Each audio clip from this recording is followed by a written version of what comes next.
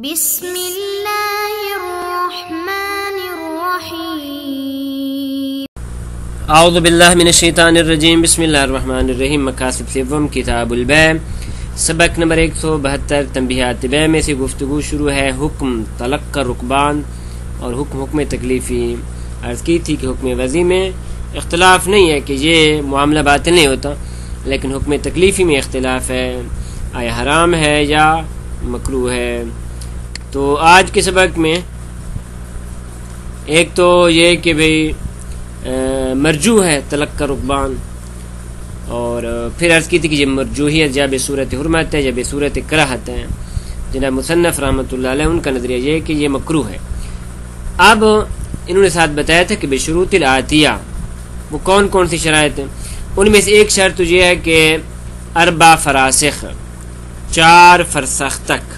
جیسے چار فرسخ کے بعد اس کو طلق کا نہیں کہا جائے گا، بلکہ اس کو سفل اتجارہ کہا جائے گا اور وہ مستحب ہے۔ دوسری شرط یہ کہ اعتبار القاصد یعنی یہ شخص اس وجہ سے جا رہا ہے کہ جائے گا اور جا کے قافلے سے ملاقات کرے گا۔ بس ایسا نہیں کہ یہ ویسے نکلا اور اس کی ملاقات ہو گئی۔ قافلے سے اور اس نے خرید و فروخت شروع کر دی۔ فرماتے اس صورت میں یہ کراہت یا حرمت ثابت نہیں ہوتی۔ اسی طرح فرماتے معاملہ کے کثرت سے نکلے۔ یہ جا رہا ہے اس بنیاد پہ کہ بلاخر قافلہ آ رہا ہے تو قافلے میں مثلا اس کے رشتہ دار وغیرہ موجود ہیں۔ لہذا وہاں پہ ان کو ملنے کے لیے جا رہا ہے تو فرماتے اس صورت میں بھی کراہت نہیں ہے، اگر کسی اور غرض کے لیے جا رہا ہے۔ اس کے علاوہ ایک اور بھی ہے بعض۔ ایک اور شرط بھی ہے، وہ انشاءاللہ اگلے درس میں ذکر ہوگی۔ تو فرماتے ثم ان حد تلقا اربع فراسخ۔ یہ گوئے شرائط پیش ہو رہی ہیں کہ تلقی کی حد چار فرسخ ہے۔ جیسے کہ عرض کی چار فرسخ والی گفتگو، یہ سفر میں بھی آتی ہے کہ سفر، کون سا سفر؟ کا سرائے فرماتے اربع فراسخ۔ یعنی انسان کے آنے اور جانے کی۔ چار فرسخ آنے کی، چار فرسخ جانے کی، ٹوٹل آٹھ فرسخ اس صورت میں فرماتے ہیں۔ نماز قاصر ہے اور اس طرح انسان افطار بھی کر سکتا ہے۔ قاصر والی شرائط اس میں ہے۔ تو فرماتے ہیں، ثم ان حد تلق اربع فراسخ، چار فرسخ۔ کما فی کلام بعض، جس نے افواس وہ کہا کہ کلام میں۔ والظاہر ان مرادهم خروج الحد عن المحدود۔ حد اور جو مراد ہے فقہا کی، وہ یہ کہ حد محدود سے خارج ہے۔ یعنی راس اربع فراسخ، یہ باہر ہے، محدود سے باہر ہے۔ بس حال سے کیا مراد ہے؟ راس اربع فراسخ۔ کیوں؟ لأن الظاہر زوال المرجوحی اذا کان اربع فراسخ۔ کیونکہ ظاہر یہ ہے کہ جب چار فرسخ مکمل ہو جائیں تو مرجوحیت ختم ہو جاتی ہے۔ مرجوحیت یعنی حرمت جکرات ختم ہو جاتی ہے۔ اس بنیاد پہ حد وہ باہر ہے۔ وقت تابع بذالک مرسلت الفقیہ، اور اس میں کہ جو فرماتے ہیں کہ حد محدود سے باہر ہے راس اربع فراسخ محدود سے باہر ہے، اس میں انہوں نے اتباع کی ہے۔ ملا یازر الفقی کی روایت کی جو مرسلہ ہے، اور وہ وہ روایت کیا وہ یہ ان حد تلقا روحا، کہ روایت کی گئی ہے کہ تلقا کی حد روحا ہے۔ ابتدا میں فرمایا روحا، اور روحا اس کی مقدار پہلے بیان ہو چکی، روحا یا غدوا اس کی مقدار اربع فراسخ ہے۔ بس فرماتے ہیں حد تلقا، روحا ہے۔ پھر فرماتے ہیں فیضا بالغ اربع فراسخ، اگر چار فرسخ تک پہنچ جائے تو فوا جلب، اس کے بعد جلب ہے۔ یعنی تلقا ختم، آگے جلب استباب شروع ہو جاتا ہے کہ انسان اس میں خرید و فروخت کر سکتا ہے اور سفر اس کا سفر ہے۔ تجارت کہلائے گا۔ اس روایت کی بنیاد پہ انہوں نے کیا فرمایا کہ حد محدود سے باہر ہے۔ کس طرح؟ کہ فعن الجم بین صدرہ و ذیلہ کہ اگر ہم جم کریں، اس روایت کے صدر صدر روحا و ذیلہ اور اس کا ذیل کہ فیضا بالغا الاربا تو صادر اور ذیل کو جب آپس میں جم کرتے ہیں، تو لا یکون الا بیرادت خروج الحد یعنی المحدود۔ تو اس سے جو چیز مشخص ہوتی ہے وہ یہ ہے کہ ارادہ یہ کیا گیا کہ حد محدود سے باہر ہے۔ کما انا ما فی روایت سابقہ جیسے کہ سابقہ روایت میں اس طرح آیا تھا کہ ان حدہ حد تلق رکبان کیا ہے؟ معدون غدوہ۔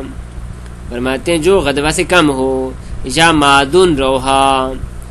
پس حد معدون ہے، نہ خود اربا فراسخ، کہ یعنی محدود ہے یہ۔ محمول کی اس روایت کو حامل کیا گیا اللہ دخول حد فی المحدود، کہ اس صورت میں جو معدون ہے یہ محدود میں داخل ہے تمام۔ پر یہاں تک مشخص مشخص ہو گیا کہ راس اربا فراسخ یہ باہر ہے۔ لیکن کالا فی المنتہا۔ لیکن صاحب منتہا نے اس طرح فرمایا کہ حد علماء تلقہ اربا فراسخ۔ ہمارے فقہ نے تلقر رکبان کی حد چار فرسخ بیان کی ہے۔ فکری ہو الحد۔ اور انہوں نے مکرو سمجھا ہے کہ اس حد تک کیا ہے؟ تلقہ مکرو ہے۔ یعنی چار فرسخ تک مکرو ہے۔ فنزاد اعلی ذالک اگر چار فرسخ سے بڑھ گیا، کان تجارتاً و جلبن تو پھر تلقہ نہیں، بلکہ تجارت اور جلب ہے۔ اور مستحب ہے وہ ظاہر اور جناب شیخ انصار رحمۃ اللہ علیہ فرماتے ہیں کہ ظاہر بھی یہی ہے کہ جب ہم کہتے ہیں چار فرسخ، تو مراد یہ کہ چار فرسخ کامل ہے۔ نہ یہ کہ چار فرسخ سے کچھ مقدار اندر اور کچھ مقدار باہر۔ کہ اب چار فرسخ کا جو راس ہے، اس کو آپ کہیں یہ حد ہے اور اس سے پہلے محدودہ ہے۔ کیوں؟ لینا بے مغی ورجو ہی یقون مسافر کیونکہ اسی کی بنیاد پہ جب ہم سفر کی بات کرتے ہیں اور کاثر کی بات کرتے ہیں، تو وہاں پہ کہتے ہیں مغی اور رجوع، جانا اور آنا۔ جانا اور رجوع، واپس پلٹنا یقون و مسافر تب مسافر بنتا ہے۔ یعنی جب یہ شخص چار فرسخ تک جائے اور پھر چار فرسخ واپس آئے، تو سمانیہ فراسخ بن جاتا ہے مسافر بن جاتا ہے۔ وجاجب والے قاصر اور اس پہ قاصر واجب ہو جاتا ہے۔ فیقون و سفر حقیقی اور پھر سفر حقیقی بن جاتے الا انکال یہاں تک کہ صاحب منتہا نے اپنی عبارت جہاں تک ذکر کی کہ ولا نارف بینا علماء خلاف فی فرماتے، اس مسئلے میں میں یا ہم نہیں جانتے کہ ہمارے فقہ نے اس میں اختلاف کیا ہو۔ بس تلق کا رقبان اربا فراسخ ہے۔ اس طرح کے حد بہر نہیں ہے یعنی وہ جو راس ہے اربا فراسخ کا، وہ بھی محدود میں داخل ہے۔ جیسا کہ سفر حقیقی کی انہوں نے مثال پیش کی ہے۔ انتہا کلام ہو یہاں تک سہ منتہا کلام تمام۔ اب شیخ انصر رحمۃ اللہ علیہ فرماتے ہیں کہ وہ تعلیل بحصول سفر الحقیقی یہ جو انہوں نے آخر میں تعلیل پیش کی کہ سفر حقیقی تب بنتا ہے کہ ایک مکمل آمد و رفت چار فرسخ آنے اور چار فرسخ کے جانے کی ہو۔ فرماتے یہ جو تعلیل ہے، حصول سفر حقیقی جد اللہ مسام فی تعبیر فرماتے ہیں، یہ تعبیر میں مساہمیہ پہ درد کر رہی ہے۔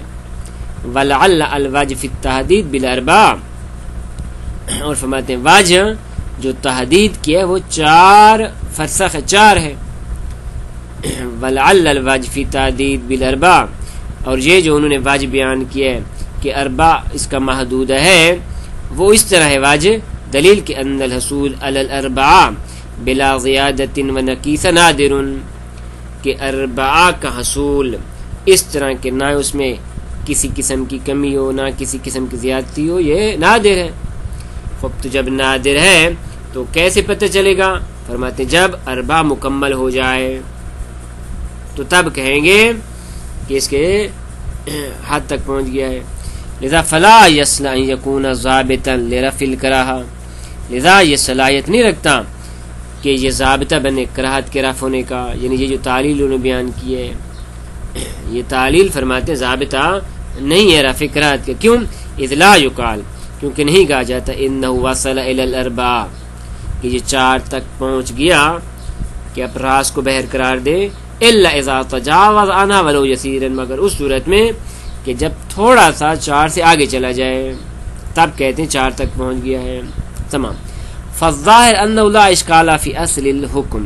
تو فرماتے ہیں ظاہر یہ ہے کہ اصل حکم میں فرماتے ہیں اختلاف موجود نہیں ہے۔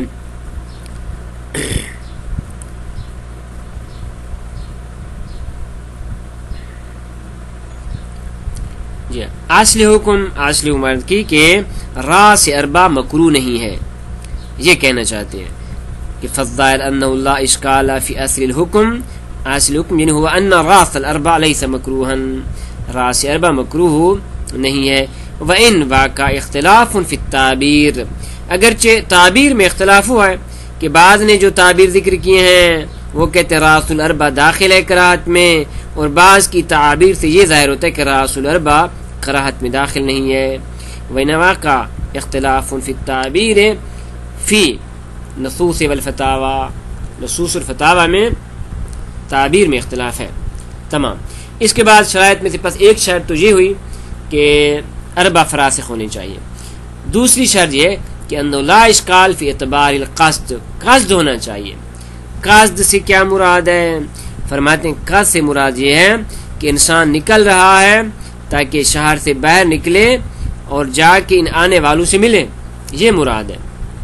قصد یعنی قصد الخروج الرقبان یہ مراد ہے۔ کیوں؟ اس بدون القصد لا یزدق عنوان التلقہ کیونکہ اگر قصد نہیں اور بہر جا رہا ہے تو اس کو کوئی بھی متلقی نہیں کہتے۔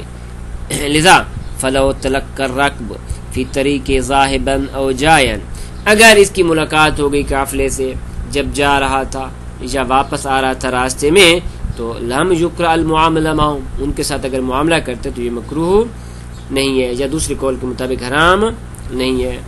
اسی طرح اور شرط و قذافی اعتبار قصد المعاملہ من المتلقا۔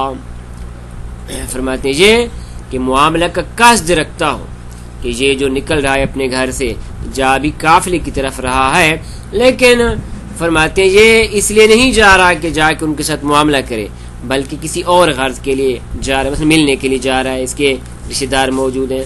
اسے فرماتے فلا یکرہ مکرو نہیں ہے غرض آخر، بلو اتفاقت المعاملہ۔ اگرچہ وہاں پہ بیٹھا ان کے ساتھ اور معاملہ اتفاقاً ہو گیا، فرماتے یہ معاملہ مکرو نہیں ہے۔ اس کے علاوہ ایک اور شرط کہ جس شرط میں اختلاف ہے، وہ یہ ہے کہ وہ جو رقب ہے اور وہ جو قافلے والے ہیں، انہیں اس شہر کی قیمت کا پتہ نہ ہو۔ لذا اگر انہیں ان کی قیمت کا پتہ ہے، تو فرماتے ہیں، پھر مکرو نہیں ہے۔ لذا کہتے ہیں قیلا ظاہر التعلیل فی روایت عروہ المتقدمہ۔ کہ جناب عروہ کی جو روایت ذکر کی گئی، اس میں ایک تعلیل تھی کہ المسلمون ینتافیون بعضهم من بعض۔ یہ جو تعلیل جناب نے فرمائی تھی، اس کا ظہور اس میں ہے کہ اعتبار و جہل الرق بصار البلد، کہ معتبر ہے کہ قافلے والے شہر کی قیمت کو نہ جانتے ہوں۔ تو گویا یہ بھی ایک شرط بن گئی۔ وفی ہے، لیکن شیخ انصاری رحمۃ اللہ علیہ اس شرط کو قبول نہیں کرتے۔ کیوں؟ فرماتے انہو انہو یعنی یہ جو استظہار اس تعلیل سے، فرماتے ہیں مبنی علی عدم اختصاص القید بالحکم الاخیر۔ یہ استظہار، اس بات پہ موقوف ہے کہ یہ کہا جائے کہ یہ جو قید ہے کیسے مراد، وہی تعلیل۔ المسلمون جنتافیون بعض من بعض، یہ حکم اخیر کے ساتھ مختص نہیں ہے۔ حکم اخیر، کیونکہ عرض کی اس میں دو حکم بیان ہوئے تھے۔ اس میں دو حکم بیان ہوئے۔ دوسرا حکم یہ تھا کہ لا یبی حاضر لبعد دو حکم تھے۔ پہلا تھا لا یتلقا اور دوسرا حکم تھا لا یبی تو انہوں نے یہ جو تعلیل بیان کی ہے اور فرماتے یہ تعلیل جو انہوں نے بیان کیا ہے، یہ مبنی ہے اس بات پہ کہ صرف لا یتلقا کے ساتھ اس کی نسبت ہے، لیکن آگے جو لا یبی حاضر لبادن اس کے ساتھ اس تعلیل کا کوئی تعلق نہیں ہے۔ تو بنا بری فیح تمل انتقون العلہ فی کراہت تلقی مسامحت الرکن فی المیزان بما لا یتسام بھی المتلقا بس احتمال یہ ہے کہ یہ جو علت پیش کی گئی ہے کہ المسلمون جرزک اللہ بعض من بعضن یہ اس میں ہے کہ تلقا مکرو ہے. کس میں؟